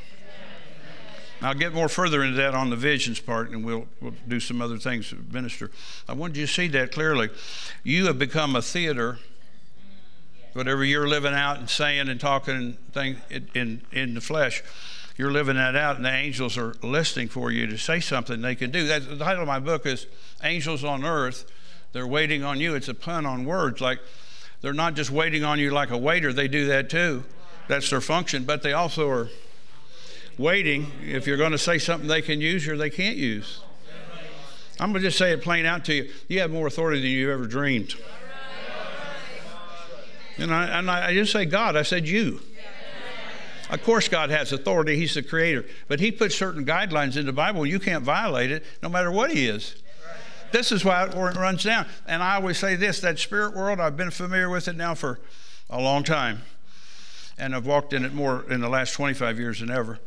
It's a very highly regulated world. It's not like people in our way we live. You know, I don't mean immoral. I'm talking about everything is tight in that other world. Nothing's happened by accident out there in the spirit world. You have to leave a door open. If uh, you know, you have to be careful to shut all the doors. What I want to say, so devils don't get a hold of you. I was praying for a lady in my church one time. This is 1979. And I commanded the devil come out, and he came out. He walked over about three feet. He turned around, looked at me, looked at her. He walked right back into her. I call her. I just call her Mary. I said, Mary, you got a problem. She said, What do you mean by that, Pastor? I said, I saw that spirit leave when I commanded him to come out, but he only walked three feet away and walked right back into you. You left the door open. What is it? No, I don't have it. Uh, either you're going to tell me the truth or go on home because I haven't got time to fool with you. I'm your pastor, but I got four or five people waiting for me to pray for them. And I wouldn't even be dealing with it if he hadn't showed me that. But he went right back into you. Well, you think it could be my husband? I don't know. Why don't you tell me? What do you mean? What do I think it'd be your husband? What's he doing to you? Doing something terrible to you? No. Well, then what's the problem? Well, I resent him. I said, you need to figure that out, lady, because either you just don't want me to fool with this, or you just take your devil and go on home because he's in you now. But you left the door open for him to get back in. You can't live in unforgiveness, beloved. Let me say this: going, the tormentors are going to come after you. That's what Jesus said. I didn't say it. He said it. Matthew, I think it's 19 or something, the 19th chapter. You can't live in, unre- in unforgiveness, resentment, bitterness, anger. I mean, the devil take your lunch. He'd just take everything from you. I didn't say people deserve to be forgiven, but neither did I. And I took it because Jesus was offering it. So I just made my mind up about 15 years ago. I'm going to forgive everybody in my past, present, and future. Because I just know how humans are, and they're going to irritate me somewhere down through here. and I just make my mind up. I'm not going to get resentful and hateful and be a mean person. I'm not going to be a hater. Okay. Well, I, well, it's it's almost nine o'clock. Well, it's eight thirty-eight on the back wall. That's what I got too. you can stand up for a minute, and I'm gonna I'm gonna say something, and I'm gonna pray for you if you need it.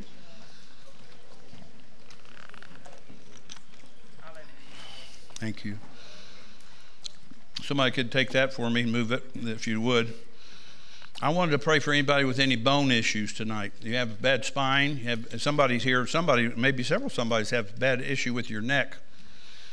So if you have any bone issues like arthritis or any of the itises, I'm not trying to be funny. I have anointing for that to get that out of your system.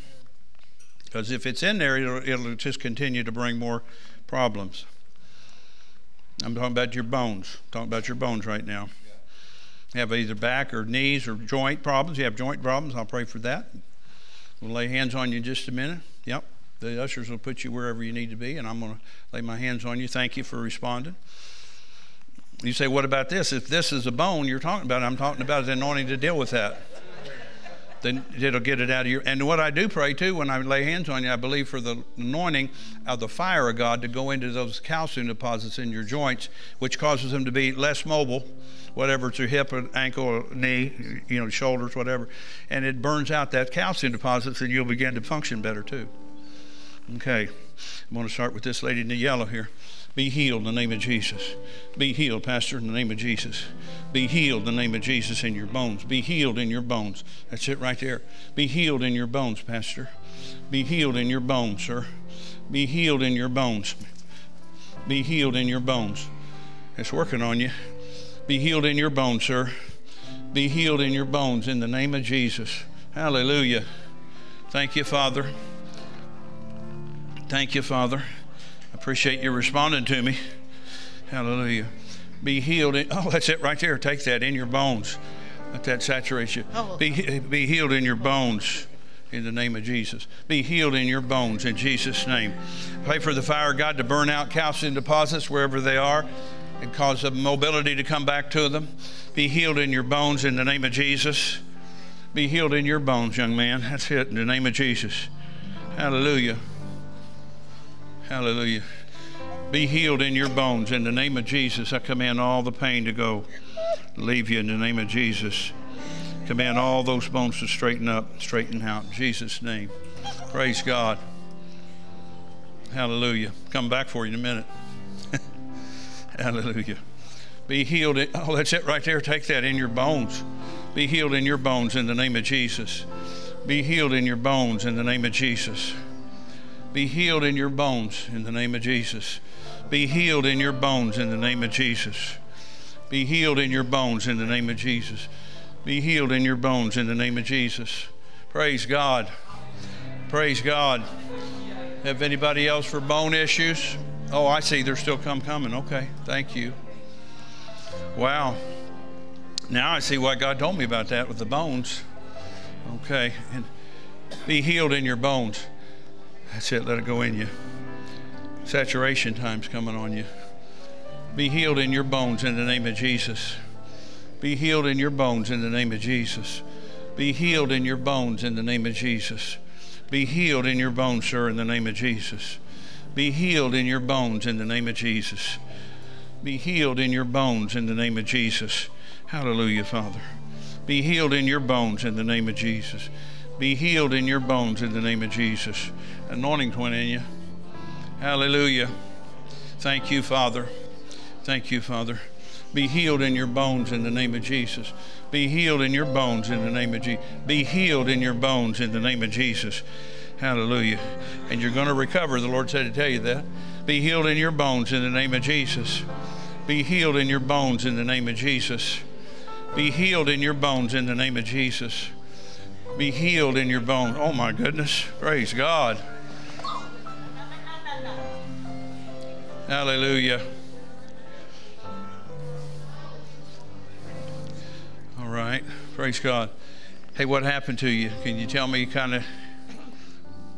Uh, Well, I have a degenerative muscle disease. Okay. But I also have lupus. Okay, lupus. In my joints. Uh huh. Okay. I'm going to pray for you.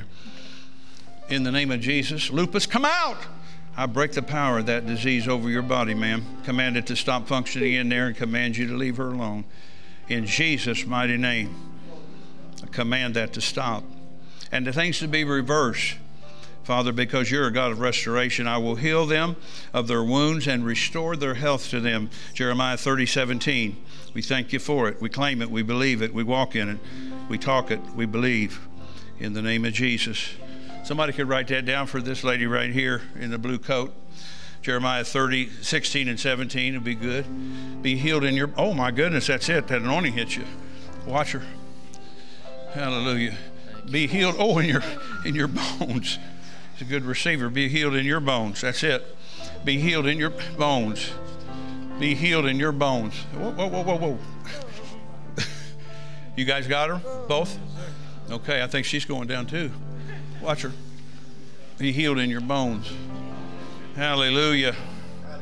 Thank you, Father. Okay, I'm.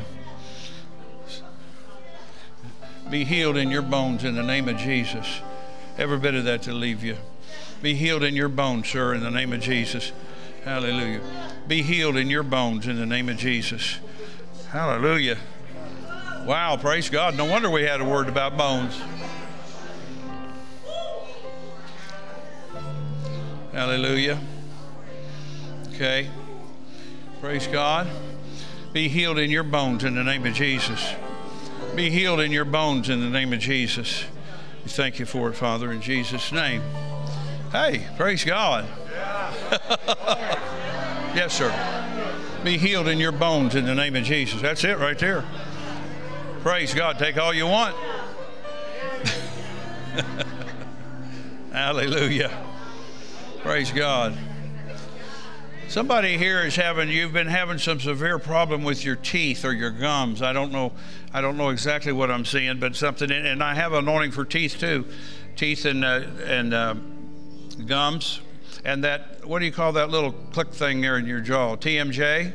Anybody else have any of those three things? I'm very glad to pray for you. Either your teeth or your gums or that, that little thing that clicks a lot. That's not supposed to click like that all the time. I had one young girl in my church. She's probably 30 now, but she was younger then. She's a nurse, and she had to go to bed with a mouthful of, uh, I don't know what you call it, some kind of thing to keep her mouth open at night. And I prayed for her, and just a few days later, she went back to the guy that put it in there, and she didn't have it anymore. And he said, You don't need it anymore. It's all been healed up. Be healed in your teeth and your gums and the things. Be healed. Wow. Be healed in your mouth, your teeth, and your gums, and that, that little joint in your jaw. Be healed in your mouth. Be healed in your mouth, sir. Hallelujah. Teeth and jaw. Be healed in your mouth in the name of Jesus.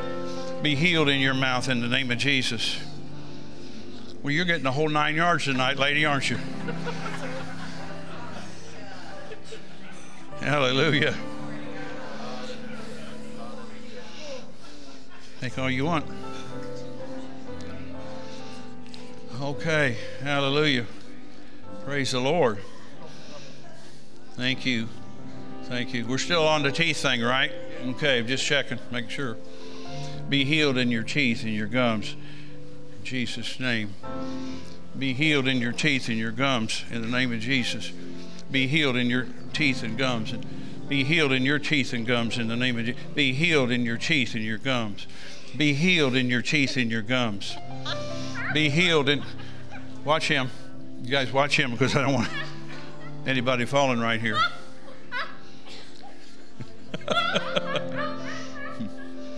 What's up with him? His front tooth started to gray because trauma happened to it. He hit it, and so the nerve endings are Uh huh. having blood flow. So, what does he need? New teeth? Just for the color to return. Oh, the color to return. We pray for your color your teeth to return. How'd that be? Good? Yeah. Father, touch him. We thank you for it in Jesus' name. You're a good receiver. Be healed in your teeth. Oh, in your teeth and your gums in the name of Jesus. Be healed in your teeth and your gums. You be healed in your teeth and gums too. Be healed in your teeth and your gums. Be healed in your teeth and gums. Oh my goodness. Be healed in your teeth and gums. And the little clicker thing. I don't know what you call that, but. Thank you, Father. Wow. Be healed in your teeth and your gums. Be healed in your teeth and your gums.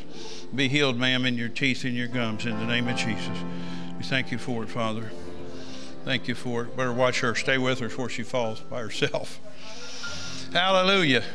I lost a lot of weight, so I, I bought new belts, but I can't, I can't keep my pants up very easily. I'm sorry about that. I got to cinch myself up because I lost 26 pounds.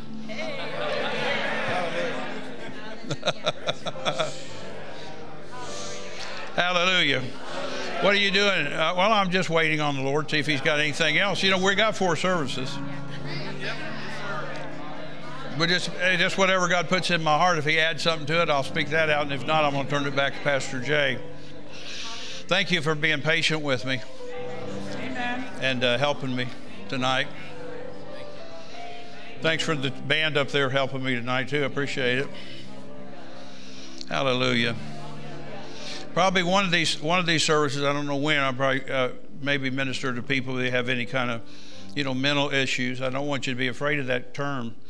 We got to learn to quit being. It's not all about me or you. It's about God helping us. Amen. Yes, sir. And then if you had a broken foot and I called for a foot injury, you normally would come if I, you needed it. I'm not saying people are all crazy. That- I'm not making fun of anybody here. Listen, I know what it is to be mental. I was a drug addict, and then I was in a, a mental place for a while in the service because I was becoming a drug addict then. And I'm making fun of that, but you just got to get over all the stuff that goes with that. I prayed for a young lady in uh, Long Island, New York, a few, few years ago. I didn't remember praying for her the first year I went. I came back second year, and she stopped me in the sanctuary. For, you know, I normally I normally leave the sanctuary when I'm done because I'm done, not because I don't want to talk to anybody. But anyway, she got to me. She said, "Dr. Jacobs, you know, you prayed for me last year." I said, "Did I? What I pray about?" She said, "Depression." I'm a single mom. I'm 29. I've been on Prozac for five years, and I said, Did you tell me that last year? No. And I didn't tell you to get off of it then, did I? No. I never tell anybody to get off their medication. I say, Go back to the doctor and he could tell you because your blood will prove it if it's really real. Anyway, long story short, so I said, Did you write that out on a card? I got little cards on my table. People can give a, a testimony with it. And you'd be surprised the number of people when I read stuff that God did for other people, other people get it. So I said to her, Well, would you mind writing that down for me? No, I don't mind at all. But you stopped taking Prozac immediately? And I'm an ex drug addict. Those were newer drugs than I was familiar with. Prozac's a anti-depression medicine, but some of those antidepressant medicines, they're billion dollar industry. It changes the brain chemistry in your head. And you cannot just go cold turkey off those things. You will have a mental breakdown. So I got on an airplane uh, a little bit after she told me the whole story. And I sat down. The guy sat next to me. He said, "What do you do for a living?" I said, "I'm a preacher." What do you do? He said, "I'm a pharmacist. I own three pharmacies in California." You're just the man I'm looking for. He goes, "What?"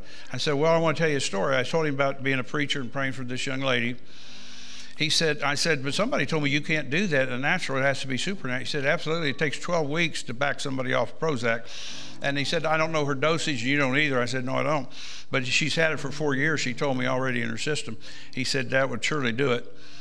He said it would normally take me 12 weeks to back somebody off of that, or maybe more if they were more uh, involved with it than I'm imagining. Because your brain just doesn't, you can't straighten that out just by quitting it. So he said to me, he looked at me, he's not even a preacher, he didn't even act like he was a believer. But he said, I think her taking, getting rid of the Prozac herself, cold turkey, is a bigger miracle than her being delivered from the depression. Well, then she just got a double, I guess. I don't tell people to throw their medicine away. I never do that. But I always tell them if, if it's really God, then you just walk it out and go back to your doctor. He'll tell you that you don't need it. If he's an honest doctor, he'll tell you that. Anyway, I just thought it was a great miracle for her. And I felt for her, you know, that she's just single, raising that baby by herself, working somewhere. I don't know where she works. I don't know that much about her, but she was sweet to tell me about it because I didn't even know that that had happened to her. Anyway, praise God. So, so I don't know when I'll do that, but I'll, I'll probably give a, you know, altar call for stuff, you know. You know, people talk about issues, they talk about baggage. I, you know, I was kind of guy that had those big brass carts that you get at the nice hotels. I had like there was a train of those, about four of them. I, I was hooked on everything but phonics when I was a drug addict.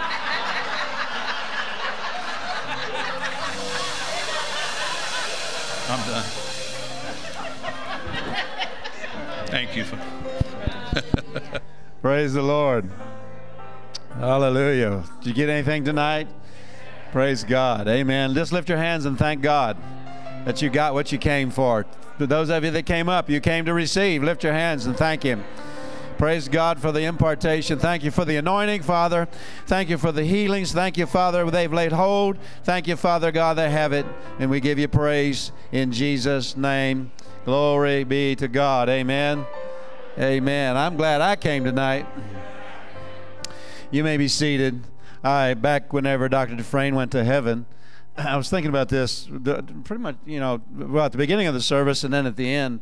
It just reminded I was thinking about it again. When Dr. Dufresne went to heaven, the Lord began to talk to me about some things that that needed not that he carried, that he walked in, that he operated in, that we need not lose in the body of Christ and uh, you know some of the things about angels was one of them and i'm so thankful for the ministry of dr jacobs that picked that up i mean he's picked up a lot of other things but he's picked that up and that uh, he's keeping that message and that revelation uh, active in the earth and and uh, for those that will hear it amen uh, we're, we're a church that hears it I don't really care what people think. I don't really.